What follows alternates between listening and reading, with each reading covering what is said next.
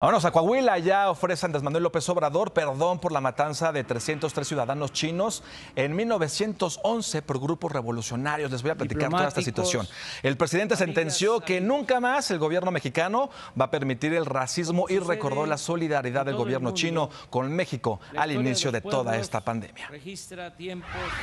Considero que este acto en el que el Estado mexicano pide perdón no solo nos obliga a asumir nuestra responsabilidad y culpa, sino también aceptar el compromiso con el pueblo y la República Popular de China de que el Estado mexicano no permitirá nunca más el racismo, la discriminación y la xenofobia. Ahí están los dichos de López Obrador en Coahuila.